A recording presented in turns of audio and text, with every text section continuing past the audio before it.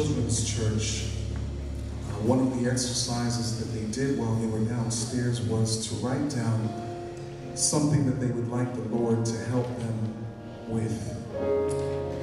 So before we start, we're going to pray for our young people and their prayer requests, that the Lord would help them. Sometimes we forget that even young people have things that they're dealing with. Uh, challenges don't have an age group, do they? Let's pray. Father, in the name of Jesus, we first of all want to thank you for another Sabbath day. Not just an opportunity to rest because we're physically tired, but an opportunity to rest with you. We're thankful not just for the day, but we're thankful that we know who has given us the day. Worthy is your name. I'm thankful for the praise team that has elevated us and lifted us into the right posture for worship today. And then I also have these prayer requests, Lord. I don't know what they say. I don't know what the concerns are, Lord. But I ask that you'll go through every single piece of paper here and answer your children, your little children, when you see fit. Because I do ask these things in the name of Jesus. Let the church say, Amen.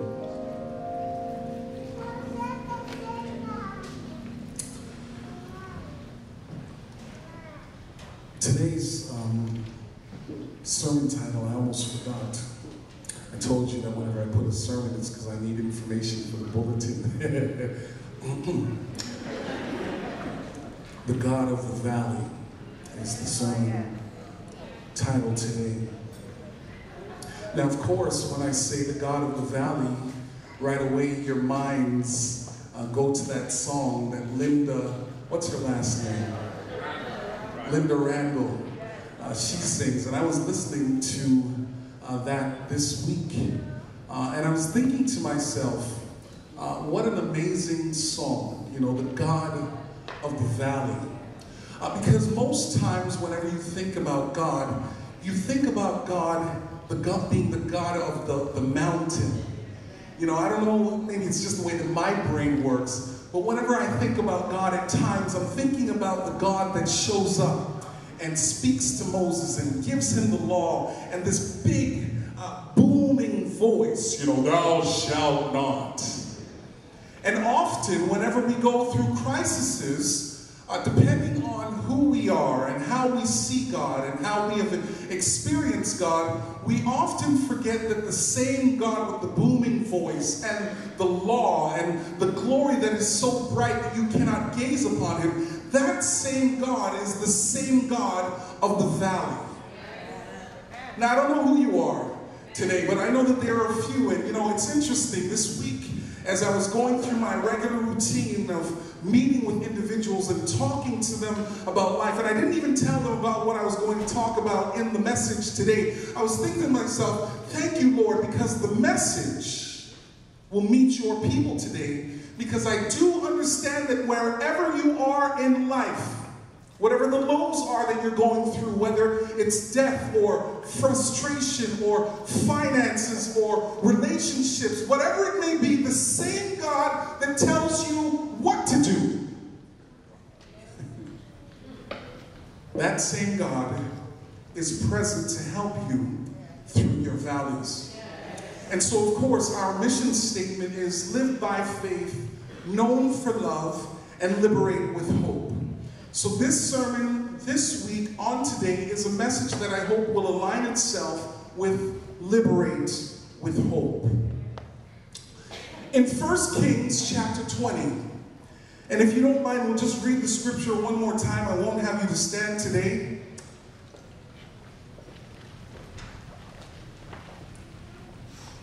First Kings chapter 20 and verse 23. I'm going to start at verse 23 and read all the way to 30, I hope. Or maybe I'll stop before then, we'll see. Then the servants of the king of Syria said to him, Their gods, plural, are gods, plural, of the hills. Therefore, they were stronger than we, but if we fight against them in the plain, surely we will be stronger than they are. So do this thing dismiss the kings, each from his position, and put captains in their places.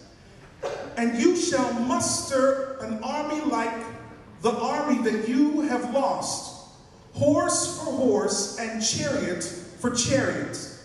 Then we will fight against them in the plain. Surely we will be stronger than they.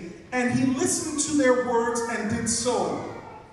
So it was in the spring of the year that Ben-Hadad mustered the Syrians and went up to Aphek to fight against Israel.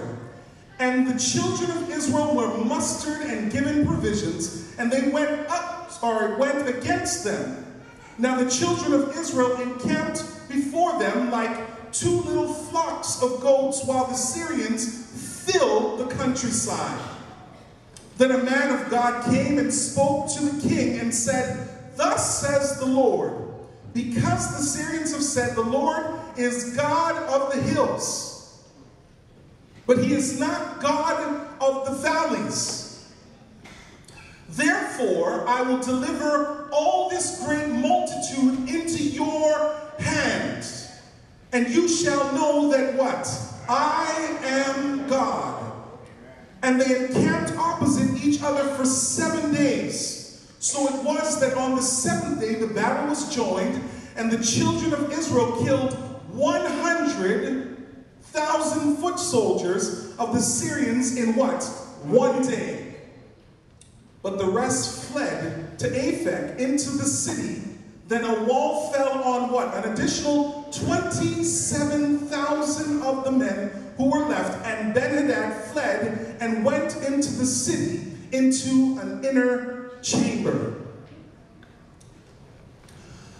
I want to start off by saying this to you, now that we have read the scripture, that sometimes we go through things that we don't understand because God has to show himself mighty. All right, now that I've said that, I want to say it a better way. Sometimes the battles that we go through have nothing to do with you, but they have everything to do with God's name. Okay, so now there's a few more of you. So let me say this one more different kind of way.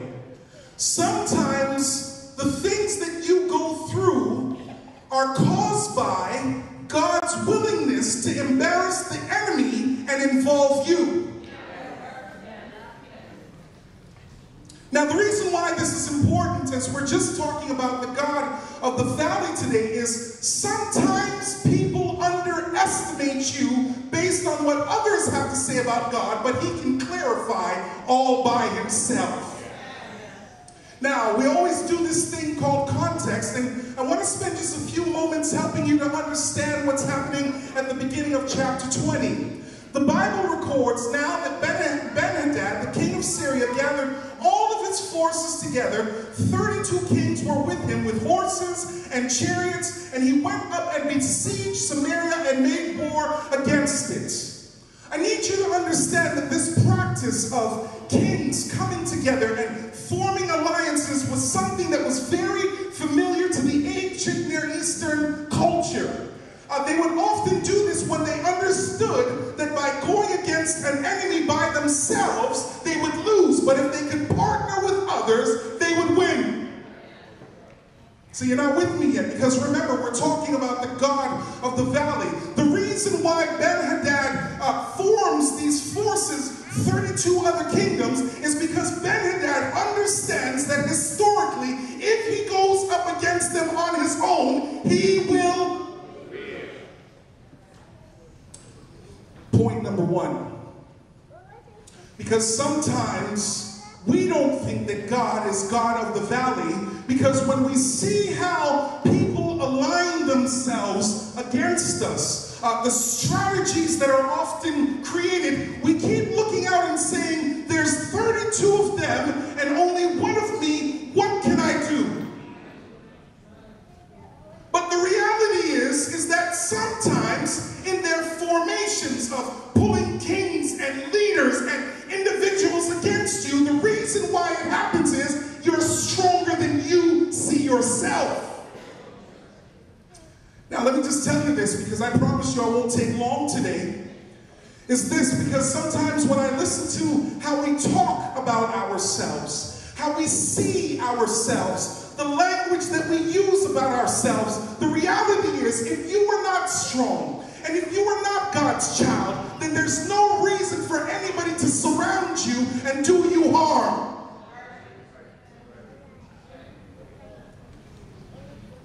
So just in case you check out early, the Bible wants to show us today that whenever you find that the enemy surrounds you, you need to begin to celebrate.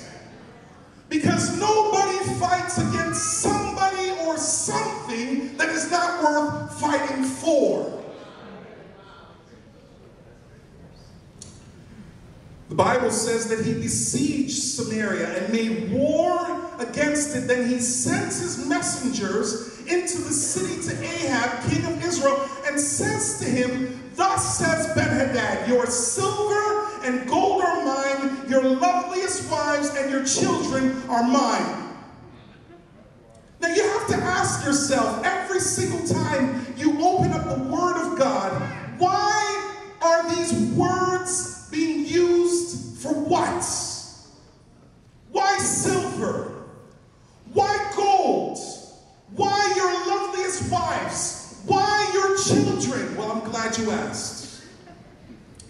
You see, what people need to get in 2017 is that even though we go out and we have these quarters that are made of silver, in the time of Ahab, it wasn't so easy to extract silver out of the ore. Uh, the reason why they would use silver in that time was often uh, as a down payment. So if you had silver and you didn't have the collateral gold to go along with it, you would often take your silver and wait and say, when I'm able to pay off this debt, I will come back and collect. When the king comes and he says, give me your silver, what he was really trying to do was collapse their economy both in the present and also in the future. So you're not with me yet, so let me break it down a little bit further. When the enemy comes to surround God's um, people, he's not just trying to collapse you for right now, he also wants to collapse your future. And now he says, give me your gold. Everybody knows that gold is one of those things that has always held its value. As a matter of fact, kingdoms were often uh, determined by the amount of gold that they would possess. When the king says, give me your silver, he wants to take over their present and their future, but then he also wants to devalue them. Then he also says, give me your wives.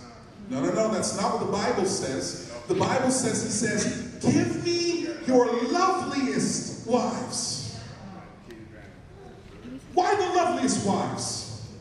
Because he wants to make sure that when he takes the wife away from the family, when those look on, there is no hope for the future because the wife is the one that maintains the family, and if her womb is fruitful, she will also be able to give for the future.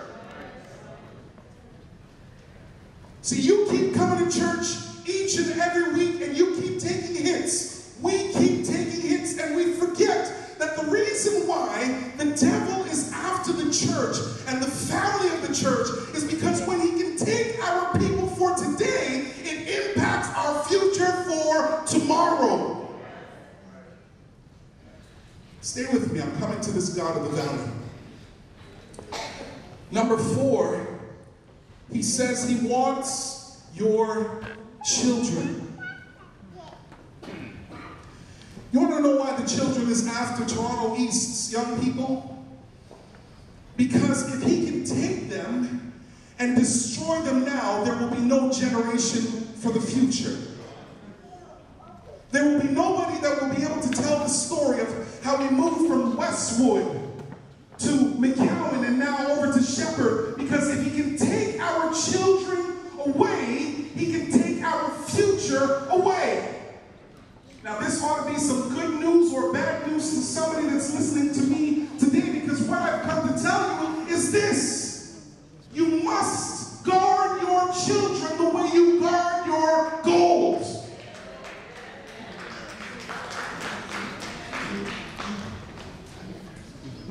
Why?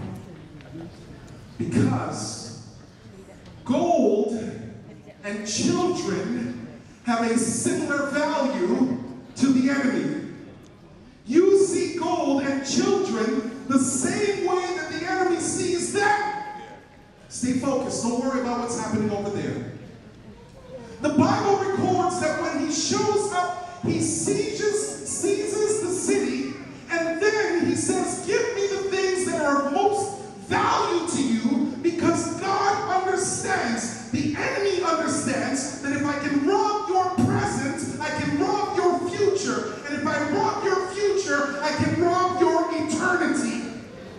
He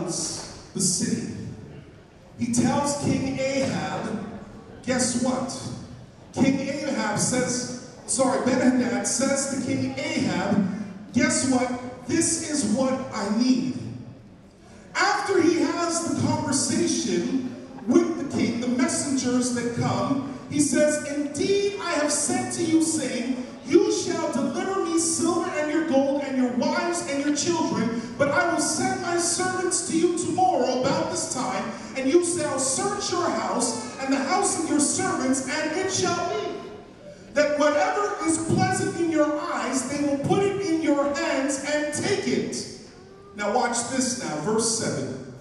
The Bible says, So the king of Israel called all the elders on the land and said, Notice please and see how this man seeks trouble, for he sent to me for my wives, my children, my silver, and my gold, and I did not deny him. Verse 8.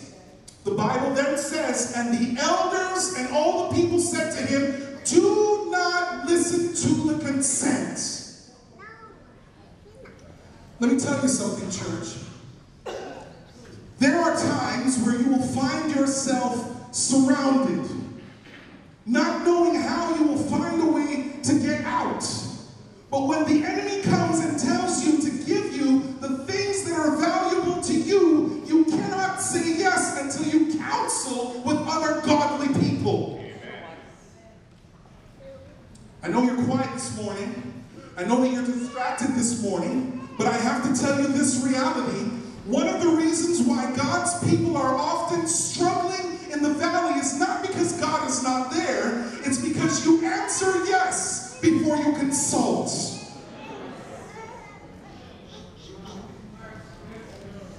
I got something.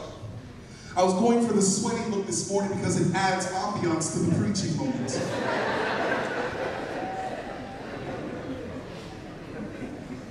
Yeah, when he goes to the elders, the elders say, don't do it.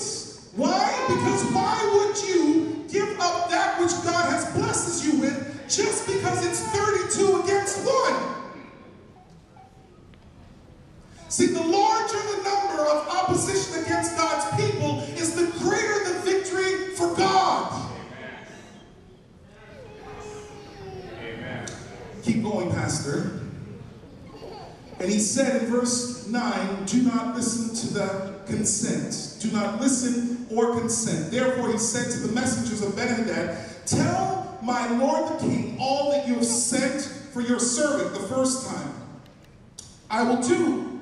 But this thing I cannot do. And the messengers departed and went back, uh, word, brought back word to him. Then Ben-Hadad said to him, The gods do so to me, and more also, if enough left of Samaria for a handful for each of the people who shall follow me. Now I want you to see what Ahab says. So the king of Israel answered and said, Tell him, let no, let not the one who puts on his armor boast like the one who takes it off. When I read this, something began to trigger in my mind because remember, sometimes when you're surrounded by the enemy, you have to go to previous victories in order to get victories now. Come on, church, stick with me. You'll remember that when David shows up to the fight, uh, they try to dress him in somebody else's armor. Do you remember that story? And when he puts on the armor, he realizes that I can't fight in somebody else's stuff. I gotta fight in my own stuff. Uh, but you'll also remember in that same story that when Goliath shows up and he's all dressed up ready for war, he begins to take off that which he knows to fight with because he underestimates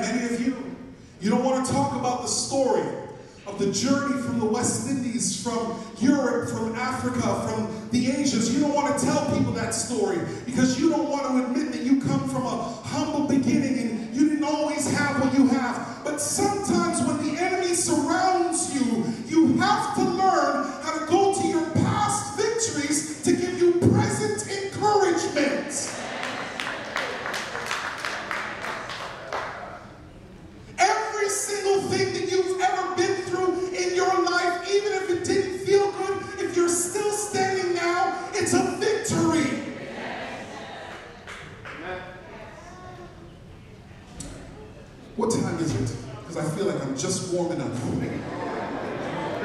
No, pasta, no warm up. I'm cooling down.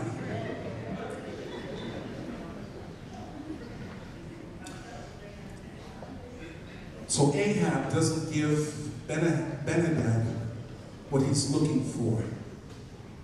He doesn't because with the counsel of the elders, they are able to remind him that guess what? When we think about what David went through and how he slew the giant, perhaps we can win for this. And so now we fast forward to verse 23. Because one of the things that we need to understand is that the enemy is relentless and they will battle us on grounds that they believe that we will not be successful. Uh, the Bible tells us that they're concerned, the enemy thinks that the gods that they serve are gods of the hills. So they're not trying to fight them in the hills. They bring them down to the plain, the flatland, because they believe that if they can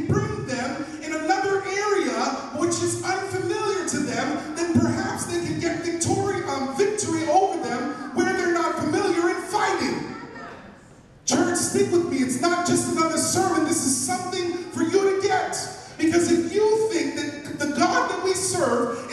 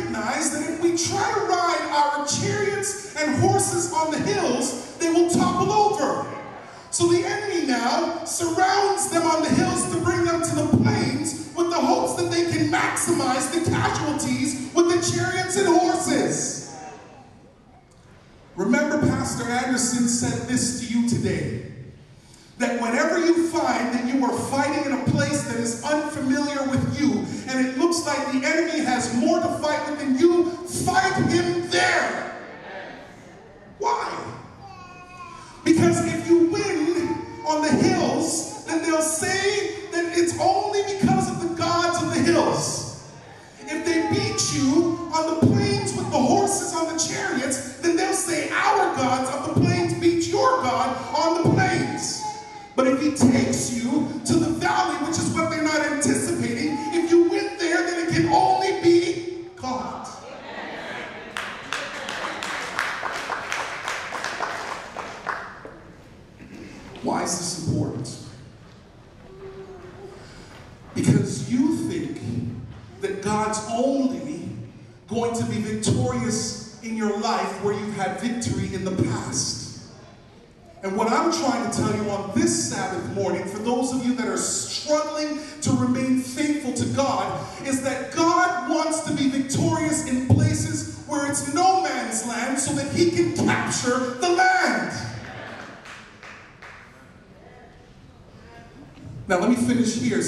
get some music to close out. I'm done.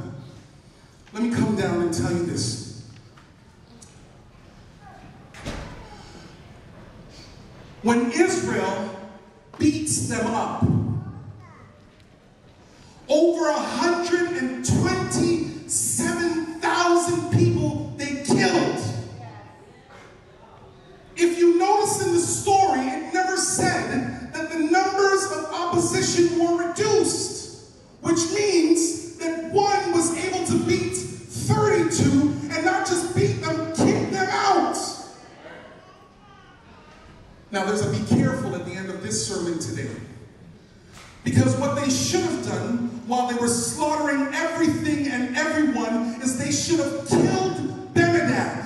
You want to know why? Because if you don't read your ancient Near Eastern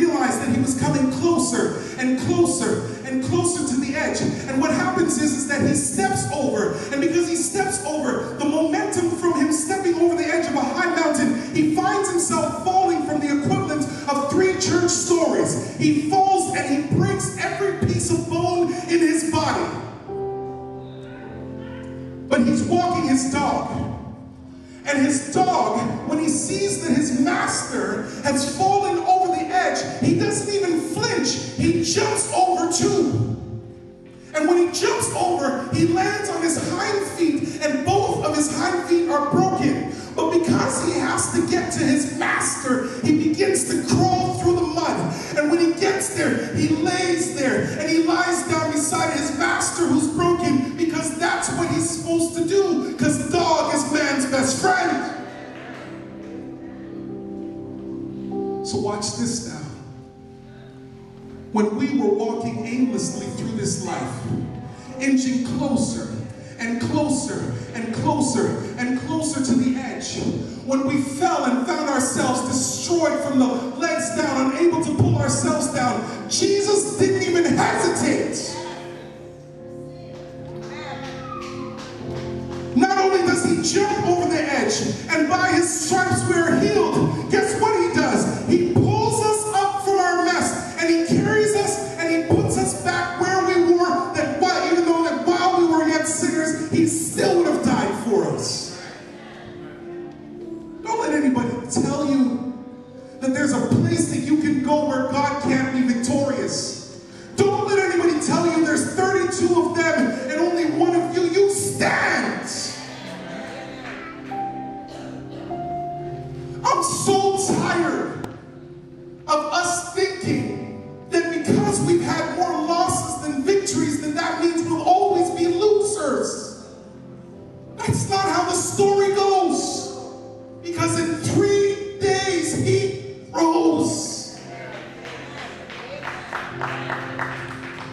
The God of the valley is the God of the plains. And the God of the plains is the God of the hills. And the God of the hills is the God of the mountains. And the God of the mountains is the God of the earth. And the God of the earth is the God of this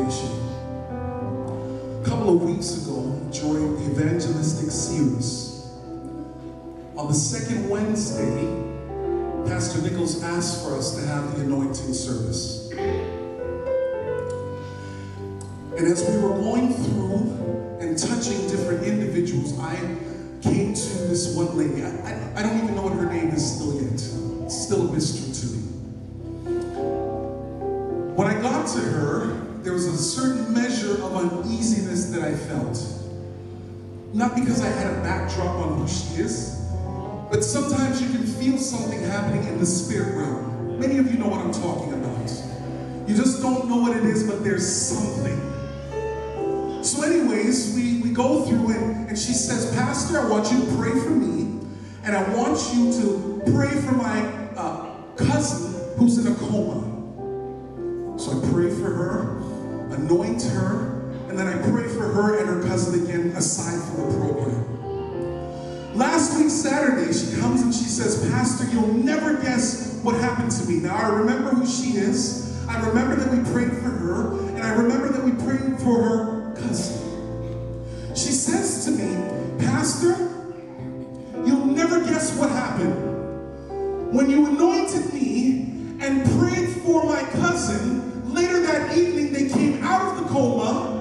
and they're breathing on their own.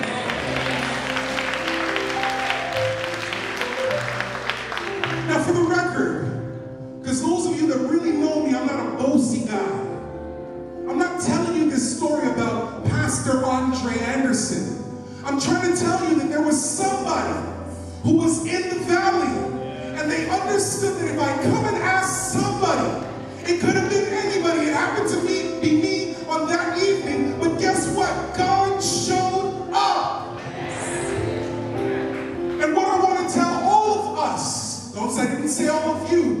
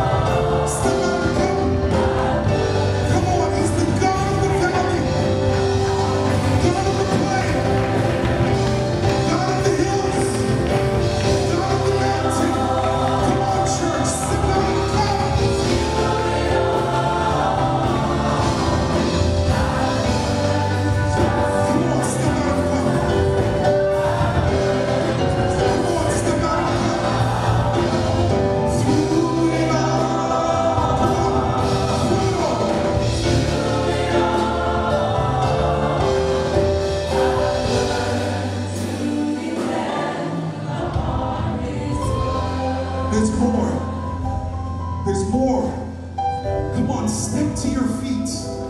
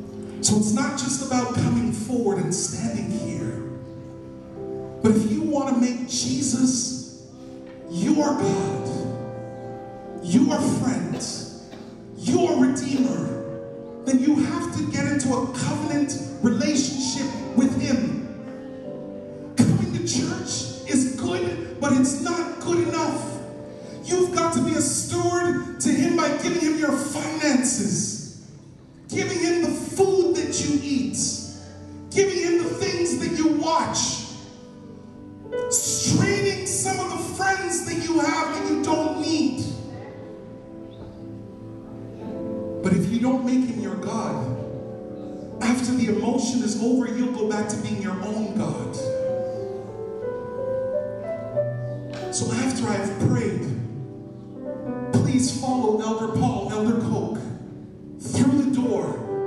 Give them your phone number so we can begin to teach you out of God's word what his will is for your life and your life to come.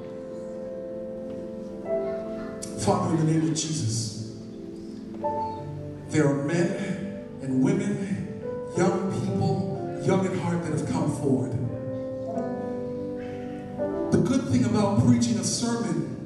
is that you never know why people have come, but your spirit has pulled them, wooed them out of their seats, and now here they stand in the valley waiting for you to show them where to go next, like the Good Shepherd did in Psalms 23.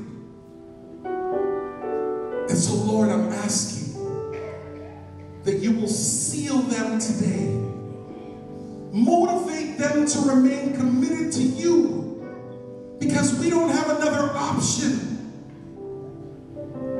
Lord, I pray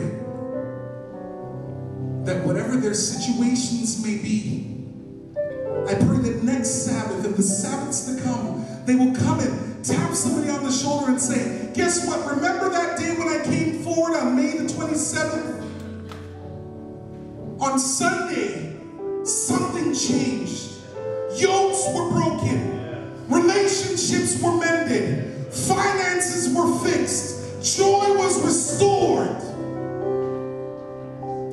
Because proof that God is in the valley is through our testimony. So, Lord, I pray that they won't go back to their seat if this message was for them. Let them go through the door with Elder Coke and Elder Mackenzie.